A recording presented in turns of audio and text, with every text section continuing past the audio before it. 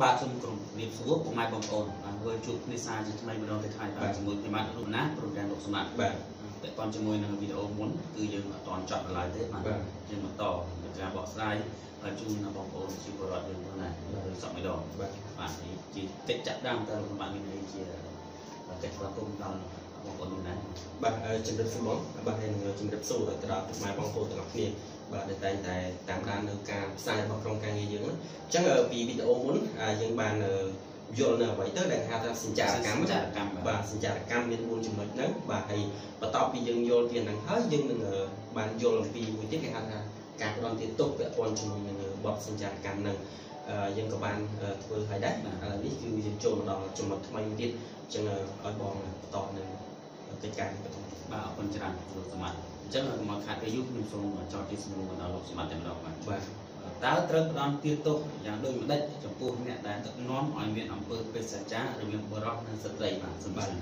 អរគុណបងអញ្ចឹងអឺយើងបានយល់នៅចំណុចមុនហើយឥឡូវនេះមកដល់ចំណុចមួយទៀត អញ្ចឹងអឺបទអឺគេហៅថាសញ្ចារកម្មនេះអឺគឺកើតឡើងអាចគេហៅថាអឺតាមពិតវាកើតឡើងគ្រប់តែកន្លែងហ្នឹងប៉ុន្តែវាមួយទៀតដែលនៅក្នុងក្រមព្រហ្មទណ្ឌរបស់យើងគេហៅថាអឺបានចែងឡើងណាអញ្ចឹងគឺត្រូវមានអន្តរការីមួយអន្តរការីនោះបានន័យថាជាអ្នកភ្ជាប់រវាងបុរសដែលត្រូវការសេវាផ្លូវភេទហ្នឹងបាទបាទហើយជាមួយនឹងស្ត្រីដែលជាបេសកចារហ្នឹងបាទអញ្ចឹងអឺអន្តរការីហ្នឹងគេចែកបានន័យថាពាក្យពីរសម្រាប់ការភ្ជាប់ហ្នឹងអឺដែល គេហៅដែលបងបានសួរបាទពាក់ព័ន្ធជាមួយនឹងអឺសញ្ចារៈសញ្ចារកម្មអឺសញ្ចារៈឬសញ្ចារិកាបាទអញ្ចឹងអឺពីរនេះហើយដែលជាចំណុចសំខាន់នៅក្នុងការភ្ជាប់រវាងបុរសនិងស្ត្រីឲ្យមានអំពើបេសកចារអឺបេសកចារហ្នឹងអញ្ចឹងអឺសញ្ចារៈហ្នឹងបើយើងនិយាយជាភាសាសាមញ្ញអឺបានន័យថាជាអ្នកប្រកបរបរផ្នែកគេហៅរស់ស៊ីផ្លូវភេទហ្នឹងបាទតែគាត់ជាភេទប្រុសបាទបាទបាទគាត់ជាបរិសុទ្ធ ចំណែកឯសញ្ចារកាសញ្ចារកាហ្នឹងគឺបើយើងនិយាយម៉ាត់អឺតែដូចជាម៉ែយ៉ាអញ្ចឹងបាទកគាត់ត់មែនអញ្ចឹងទៅបាទមេបនហ្នឹងឲ្យយើងនិយាយឲ្យគាត់ស្ដាប់តិចតែបាទវាន័យវាអញ្ចឹងទេបាទពីរហ្នឹងហើយដែលគាត់ជាអ្នកភ្ជាប់បានន័យថាអន្តរការីដែលយើងលើកឡើងមិញហ្នឹងគឺរវាងបរិសុទ្ធដែលត្រូវការសេពនៅកាមហ្នឹងហើយនឹងស្ត្រីបេសចាហ្នឹងដែលគាត់ដឹកគេហៅភាសាខ្មែរថាអឺដឹកញីស៊ីឈ្មោលបាទដឹកមានវិស័យឈ្មោះហ្នឹងបាទល្អមែនទេបង គឺគាត់ភ្ជាប់បាទឲ្យមានអំពើពេជ្រានឹងកើតឡើងហើយអញ្ចឹងបងសួរថាមានការផ្ដន់ទាទោសយ៉ាងម៉េចអញ្ចឹងចំពោះការអឺផ្ដន់ទាទោសគឺបានន័យថាពី2ឆ្នាំទៅ5ឆ្នាំដាក់ពន្ធនាគារណាបាទបាទចំពោះសញ្ចារកឬសញ្ចារកាហ្នឹងហើយពីនៃជាប្រាក់ពី4លានរៀលរហូតទៅដល់10លានរៀល ដែលអំពើដែលគាត់ធ្វើហ្នឹងអាដែលគាត់អឺយើងអត់បានដឹងទេថាអឺតើគាត់បានដឹងថាអំពើហ្នឹងអឺនៅពេលដែលគាត់ប្រព្រឹត្តហ្នឹងតើត្រូវជាប់ពន្ធនាគារឬត្រូវពីនៃជាប្រាក់អត់អ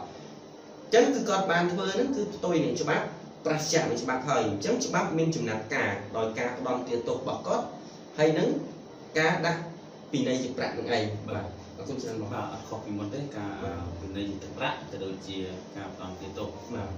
ចាប់ពន្ធនាគារគឺដូចតាពីវីដេអូមុនអញ្ចឹងបាទអញ្ចឹងចូលមកដល់សំណួរបន្តទៀតបាទលោកស្មាបាទតើត្រូវផ្ដន់ទាទោសដូចម្ដេចចំពោះជនដែលបានជួយបិទបាំងនៅធនធានដែលបានមកពីអង្គើ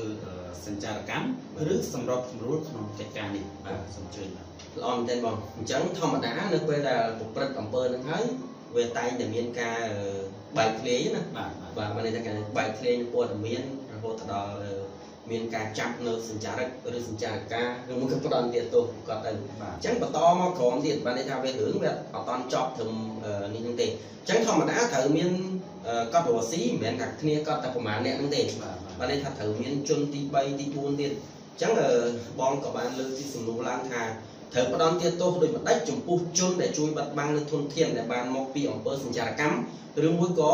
សម្រួលនៅក្នុងកិច្ចការនេះបាទអញ្ចឹងអង្គើរបស់ជនបាទដែលបានជួយសម្របសម្រួលឬបាត់បង់ដែលខ្លួនបានដឹងថាបានមកពីអង្គើសញ្ចារកម្មហ្នឹងគឺត្រូវផ្ដន់ទាទោសដាក់ពន្ធនាគារពី2ឆ្នាំទៅ5ឆ្នាំពីនៃជាប្រាក់ពី4លានរៀលរហូតដល់10លានរៀលដដែលទេតែគ្រាន់ថាវាអឺអង្គើហ្នឹងគឺ มันអាចអឺបាត់បង់ចិត្តទេហើយជនដែលជួយសម្របសម្រួលហ្នឹងគឺត្រូវផ្ដន់ទាទោសអញ្ចឹងចូលមកដល់ចំណុចក្រោយមួយទៀតបាទហើយត្រូវផ្ដំទាទោសផងដែរចំពោះអ្នកដែលមិនបានបញ្ជាក់អំពីប្រភពធនធានបាទអរបស់ខ្លួនដែលនៅជាមួយជនដែលបានធ្វើបេសកចារដោយមានទំនាក់ទំនងជាប់លាប់ជាមួយនឹងជនម្នាក់ឬច្រើនអ្នកដែលបានធ្វើសកម្មភាពបេសកចារហ្នឹងអញ្ចឹងបានន័យថាម៉េចអឺបើយើងគិតពីរឿងកាប់ចាក់គឺសម្រាប់ក្រុមព្រំតនដូចគ្នាគេហៅថា ចារីនិងសហចារីបាទបានន័យថាអ្នកប្រព្រឹត្តហើយនិងអ្នកចូលរួមប្រព្រឹត្តអញ្ចឹងនៅក្នុងនេះគេប្រើបានន័យថាជនបន្តអញ្ចឹងបានន័យថាក្រោយពីជនដែលជាបេសចាហ្នឹងក៏នៅមានជនមួយទៀតដែលនៅជាប់លាប់ជាមួយនារីដែលជាបេសចាហ្នឹងក៏ដូចជានៅជាប់លាប់ជាមួយនឹងសញ្ចារកឬសញ្ចារកាហ្នឹងអញ្ចឹងគឺត្រូវតបង់ទាទោសដាក់ពន្ធនាគារដូចគ្នាហើយនឹងធ្វើការពិន័យជាប្រាក់ដូចគ្នាចំពោះជនដែលសុំកន្លងបើយើងនិយាយភាសាសាមញ្ញណា ថាសុំកន្លងជួយបិទបាំងឬមួយក៏ជួយសម្របសម្រួលឲ្យកិច្ចការហ្នឹងរលូនបាទគេហៅបើបើនិយាយភាសាសាមញ្ញថាធ្វើម៉េចបំរើឲ្យកិច្ចការហ្នឹងទៅមុខដល់រលូនណាគឺត្រូវផ្ដន់ទាទោសជប់ពន្ធនាគារពី2ឆ្នាំទៅ5ឆ្នាំបាទពីនៃជាប្រាក់ពី4លានរៀលរហូតទៅដល់10លានរៀលបាទអរគុណច្រើនបងអរគុណច្រើនលោកបាទសម្រាប់ការបកស្រាយនឹងសំណួរចុងក្រោយនេះបាទបាទហើ យយើងក៏អត់តន់ចប់ដែរសម្រាប់សញ្ចារកម្មនេះយើងនឹងមានវីដេអូបន្តទៀតបាទអញ្ចឹងដោយសារពេលវេលាមានកំណត់បាទខ្ញុំបាទរុណារុណានុសម្បត្តិក៏សូមរំអងកាយទៅរលាបងប្អូនតែប៉ុណ្្នេះសិនបាទនិយាយចុងក្រោយខ្ញុំបាទរុណាសូមអរគុណសូមជម្រាបលា